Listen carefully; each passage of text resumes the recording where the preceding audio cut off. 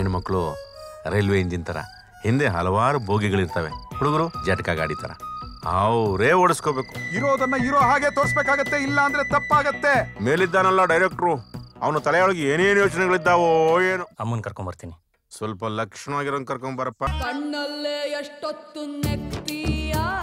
ಸನ್ನೆಲೆ ಎಷ್ಟೊಂದು ಕೊಲ್ತಿ ಎಲ್ಲಿ ಹೋಗಿದ್ರಿ? ಕಣ್ಣಲ್ಲಿ ಕಣ್ಣಿಟ್ಟು ಹೇಳಿ. ಡೈರೆಕ್ಟರ್ ಸ್ಪೆಷಲ್ ನಾಳೆ ರಾತ್ರಿ ಒಂಬತ್ತು ಗಂಟೆಗೆ.